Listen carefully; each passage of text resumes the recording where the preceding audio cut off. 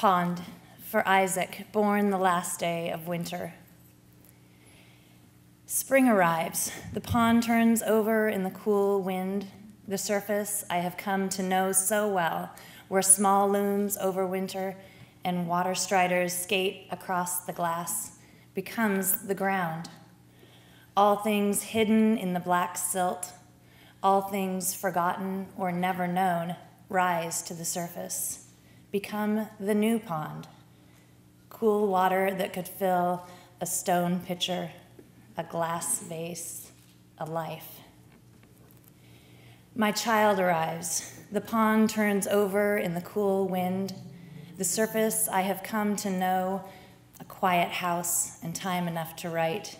Weekends on the train to the city, sink to the bottom.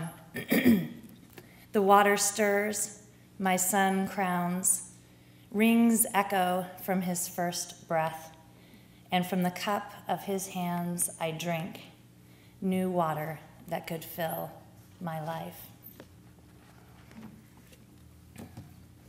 What you have caught and held for Eli. After I have carried you to your bed for the third time, and again I hear you at my study door, I pretend not to notice, busy myself with the poem I am trying to end, thinking if I don't actually see you, maybe you won't really be there, in your blue Superman pajamas and bare feet.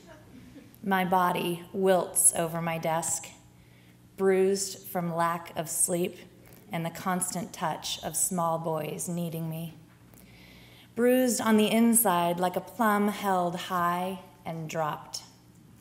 You move along my shelves of books, hands cupped until you find what you are after.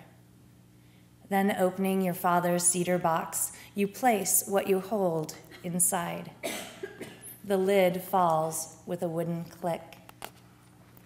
A dragonfly for my box, you whisper, shuffling out, pretending my chair stands empty.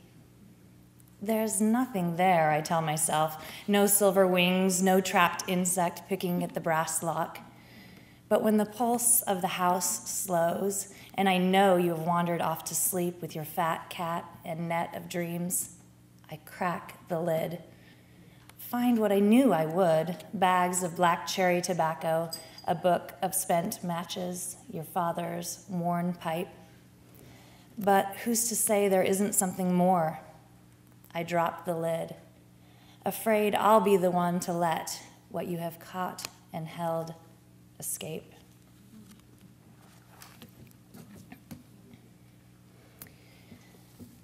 For my mother and her grandson, Samuel.